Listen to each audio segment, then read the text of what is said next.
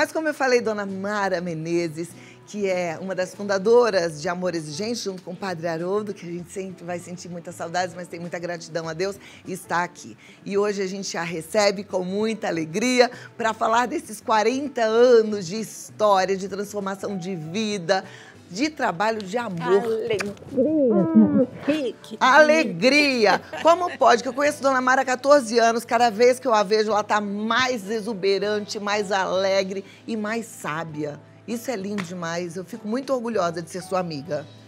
Acho que é porque Deus faz parte da minha vida de uma maneira muito intensa. É Ele, através de mim ou por meio de mim, traz a sabedoria. Que lindo. Meus parabéns. Meus parabéns.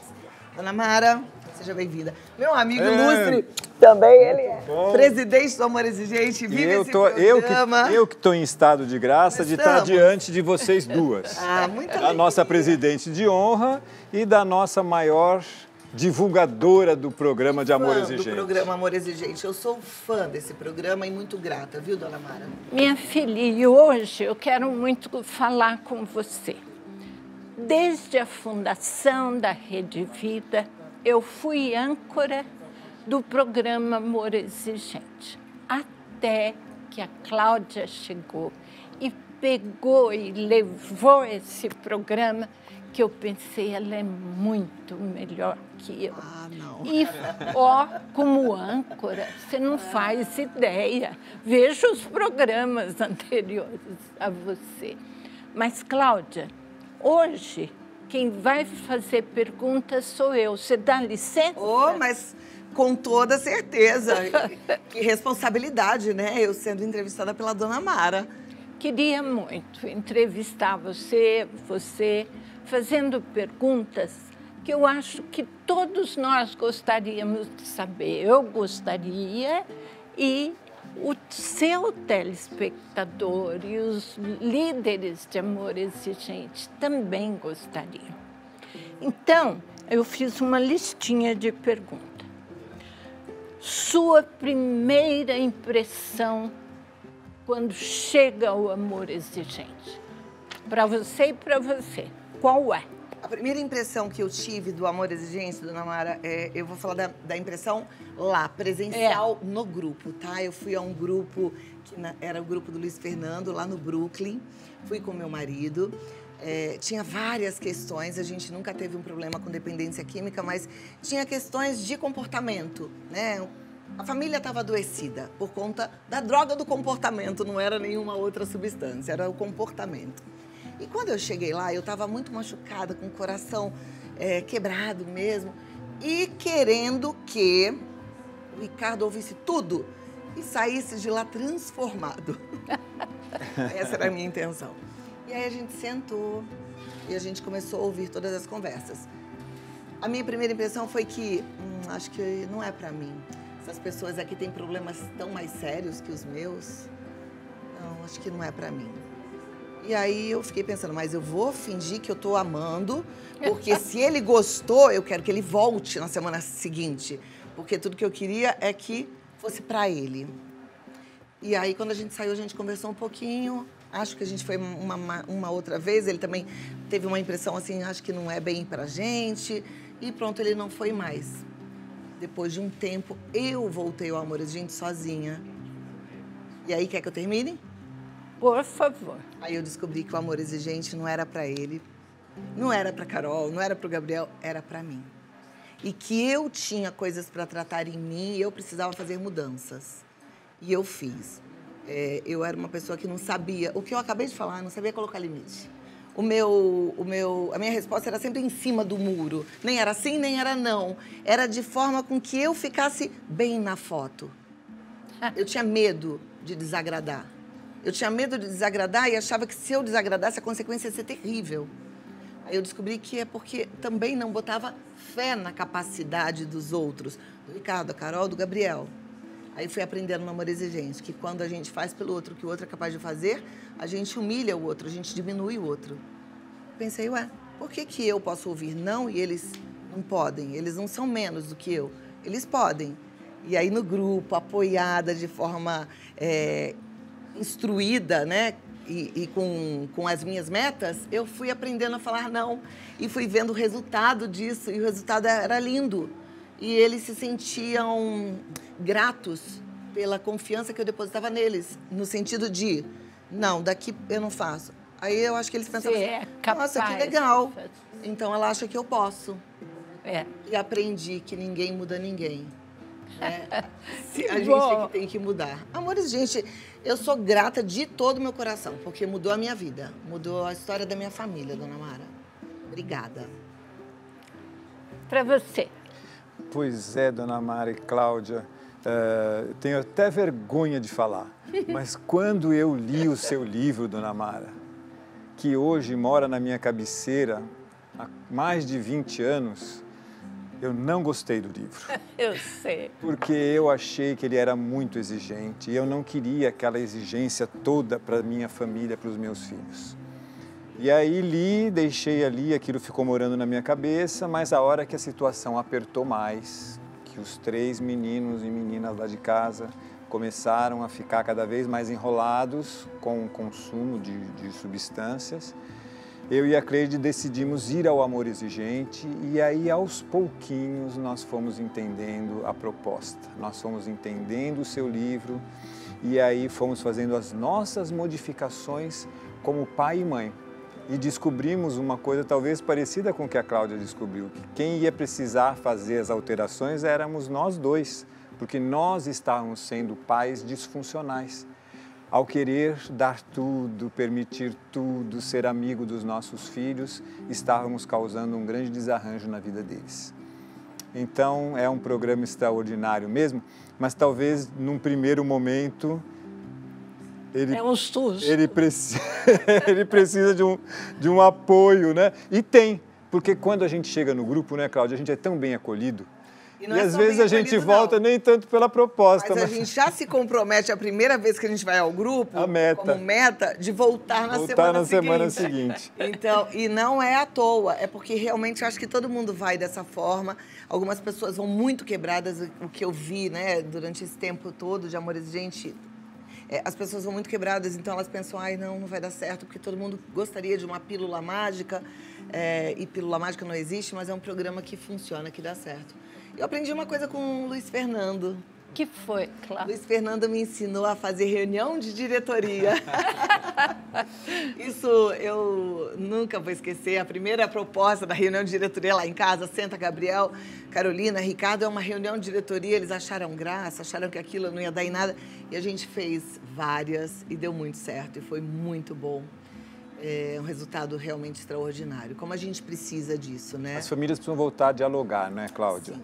E, e os pais precisam aprender a fazer aquele confronto fraterno, não é? Uhum. Que você vai fazendo as correções, mas sem também ultrapassar aquele limite que o seu filho possa ser humilhado, né?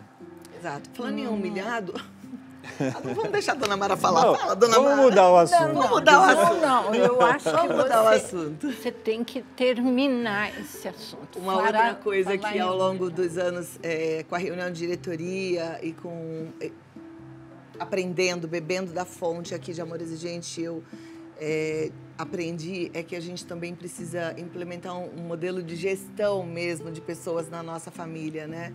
E, e fazer uma troca verdadeira com os nossos filhos, individualizada também. De ter um momento com cada um deles separado, sem que toda a família esteja participando, olho no olho, falar, e então, filho, e o que eu tenho feito? Você está entendendo o que é, o porquê é que está sendo assim? Como é que você tem recebido isso? Eu acho que também é importante essa troca, né? Porque eu tenho visto com alguns dependentes químicos que chegam aqui que trazem histórias de dores que foram geradas na infância e a gente já aprende no Amor Exigente que pai e mãe só faz o melhor que pode. Ninguém tem uma intenção de ser o pior pai do mundo, né? Ou a pior mãe do mundo. Então, se a gente está consciente dessa educação, eu acho que também fazer essa troca, sabe? Como é que você tem recebido isso? Mas tem que estar alicerçado no amor exigente, porque senão você cai na codependência e volta a ser uma manteiga derretida, né? codependente, né, Cláudia? Sabe, o que vocês estão falando é perfeito. Só tem uma coisa: vocês têm que se preparar. Vocês não podem vir conversar na diretoria sem saberem exatamente o que vocês querem e terem como que seja uma reunião de diretoria programada com aquele começo, meio e fim. É importante que vocês vejam isso. E nisso existe dificuldade. Qual foi a maior dificuldade para vocês? Para estabelecer aquele programa que vocês idealizaram. Não chega totalmente completo, mas chega perto do que é o ideal. Qual a dificuldade? Bom, a minha, dona Mara, eu penso que foi realmente estabelecer as consequências quando as regras que nós estabelecemos não, não eram cumpridas. E isso é muito dolorido porque a gente quer que os nossos filhos tenham de tudo e que por que, que a gente não pode ajudar, não é? Então, sabendo que eles precisavam ter consequências, verificando que aquelas consequências estavam fazendo uma transformação na vida da família e deles e nossa também, mas ainda assim era dolorido. A ponto que o meu filho caçula, eh, quando fez 18 anos, tirou carta e de vez em quando eu emprestava o carro para ele e ele nunca fez uso. Ele foi dos quatro o único que nunca fez uso. E ele, numa das situações lá de ir para a faculdade e voltar com o meu carro, ele bateu o carro. E aí eu falei, olha, tudo bem, aconteceu, né? Mas vai ter que pagar a, o, o, o, como é que chama do seguro lá? A fiança, né? E aí, dona Mara, ele já era uh, uh, fazia um trabalho ali de, de na própria faculdade, né? E ganhava muito pouquinho. Mas ele pagou durante 10 meses seguidos, em 10 vezes, a tal da fiança do carro. E todo mês ele vinha com o dinheirinho, ó pai, o dinheiro da fiança, o dinheiro. E eu já no segundo mês já queria, ai não, meu Deus do céu. E foi, tão, foi muito mais duro para mim do que para ele. Para ele foi um grande aprendizado, ele nunca mais bateu carro nenhum, nem os dele ele nunca bateu. E para mim foi realmente uh, um ensinamento que o amor exigente me trouxe e que, que, que eu vi que funcionava e dava certo. Eles Mas é uma grande dificuldade. Que assumir a responsabilidade daquilo que eles fazem. Isso né? mesmo. Para é você, difícil. minha filha? Para mim foi isso também. É, é, colocar o limite e ter que lidar com a consequência é muito difícil. É muito difícil a gente reconhecer que o outro é capaz de lidar com essa responsabilidade. A gente tem, eu tinha uma sensação quando eu colocava o limite assim, ai, mas tadinho, ai, tadinha. Nossa, mas não precisa disso. Ai, mas por, né? Então isso me doía muito e sempre foi muito complicado. Me lembro de ter conversado, ter colocado um limite para Carolina, tinha um show importante para ela, acho que era da Beyoncé, que era um show no Morumbi, e ela queria ir com as amigas, e ela não fez o que a gente combinou e ela não foi ao show. Eu me tranquei no banheiro, chorei muito. porque eu fiquei com o coração partido, porque era um lugar maravilhoso que ela poderia ficar seguro com as amigas, mas eu tinha combinado e ela não cumpriu e ela não foi. Então foi sofrido, é muito difícil. E aí, dona Mara, será que foi por uh, situações como essa e, a, e eu e a Cláudia vivemos que a senhora resolveu colocar um décimo segundo princípio no amor exigente para explicar para nós brasileiros o que é realmente amar? Olha, Luiz Fernando, primeiro, esses dois últimos princípios vieram da dor dos pais que chegavam lá para mim foi muito difícil. Eu estava chegando ao amor exigente porque eu tinha perdido um filho. E havia pais sofrendo tanto que eles me diziam eu queria que ele tivesse morrido como Francisco e não morrido para nós por meio da droga. Quer dizer, aquilo de certa forma, mexeu comigo tão profundamente que a exigência na disciplina era uma necessidade para esse amor pleno e para protegê-los para nós.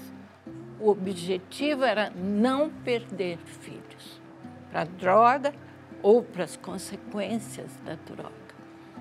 Então, foi isso que veio o amor e a exigência, mais do que qualquer outra coisa. Agora, eu, eu estou de âncora, mas eu não sei o nosso tempo, então não, você gente, assuma aí. E a gente querendo tanto ouvir a Dona Mara, porque como eu disse ainda há pouco, a gente bebe da fonte, né, toda segunda-feira aqui, mas agora é da fonte mais do que genuína, né, Dona Mara? E eu queria... Minha filha, para terminar a minha atuação, qual a maior beleza para você desse programa? a maior beleza. Para mim, a maior beleza é a transformação real que a gente percebe. E na minha experiência pessoal, eu, eu transformei a minha vida. Hoje eu posso falar assim com muita tranquilidade que eu tenho um casamento bom, saudável, gostoso. Minha família é, é uma família saudável. Linda, saudável e eu sou muito feliz e muito grata ao amor de gente a Deus, né? mas também porque eu vejo aqui nas conversas, e eu digo isso, é, não que todas as famílias conseguiram recuperar seus entes queridos, mas todos que pertencem ao amor exigente entendem quem eles são, qual é o papel deles aqui, eles estão inteiros. É, então, Amor Exigente pega uma pessoa quebrada, então imagina uma xícara toda quebrada, espatifada, e devolve em uma obra inteira, bonita, e perfeita. Então isso para mim é uma beleza, é maravilhoso. Eu creio que a maior beleza do amor exigente é o incentivo de que as pessoas sejam sóbrias.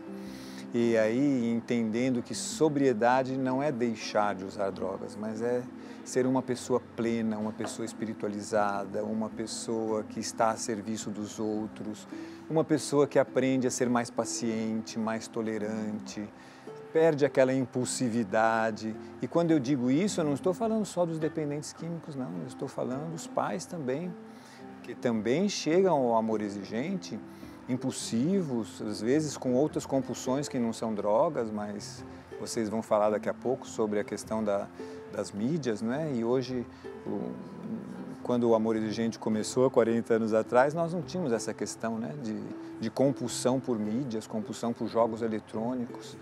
Então eu penso que a maior beleza é a transformação que o Amor Gente promove para que as pessoas comecem um processo de sobriedade e que não tem fim, viu, dona Mara? Tem aposentadoria no Amor Exigente? Não. E nem tem a consciência de que eu atingi a perfeição. Cada vez nós vamos ficando mais exigentes e vamos olhando de maneira mais profunda todas as coisas. Então, olha, é tão bom estar aqui, fazia tanto tempo que eu não vinha. Deveria tá bonito, vir mais vezes. Você está bonita, o programa está lindo, esses rapazes estão cada vez melhores, as moças. Parabéns para vocês todos. Alegria de estar tá aqui. Obrigada, dona Mara. Olha, volte, porque hoje não valeu. Eu quero mais uma é segunda-feira dessas então, com a dona estamos, Mara. Faça um acordo com ela, porque né? por mim ela estaria todas as segundas-feiras. Eu também, adora, eu adoraria. Eu só dou uma desculpinha porque eu sei que a senhora mora longe, mas pelo menos a cada 15 dias. Minha filha, ah. olha o que, que nós temos que é uma beleza. 40 anos. Uma revista mensal que traz um monte de ideias e de conhecimentos que são necessários na família de adolescentes e nós vamos fazer 40 anos. Todos estão convidados. Ainda tem vaga? Ah, chegando, né? Nós, chegando a gente, vai ser dia 27, né? É, dia 27, é. E, e no domingo a nossa assembleia. E Dona Mara, você sabe, né, Cláudia, que além de ser a nossa cofundadora, ela é, por nosso estatuto, nossa presidente de honra. Eu sou só presidente da diretoria executiva até novembro agora, depois vai ter outro. Mas a dona Mara continuará presidente de honra. Então, dona Mara, gostaria que a senhora declarasse aberta a celebração dos 40 anos do Amor Exigente, que estamos começando hoje e vai até domingo que vem. Olha, tem tanta coisa bonita para sendo preparada para receber você, mas a coisa que mais toca o meu coração é estar ali com todos vocês. Vocês disseram a beleza daquilo, daquilo outro. Para mim, a beleza do amor exigente são os filhos que eu adotei e que eu amo de todo o meu coração. Venha aos 40 anos do EE, vai ser lindo lá. Já é. Olha, anota aí para você entrar em contato e já confirmar sua participação. O WhatsApp é o 19 2519 6555. 19 2519 6555. E o site é amoresigente.org.br. E acompanhe nas redes sociais Amor Exigente Oficial.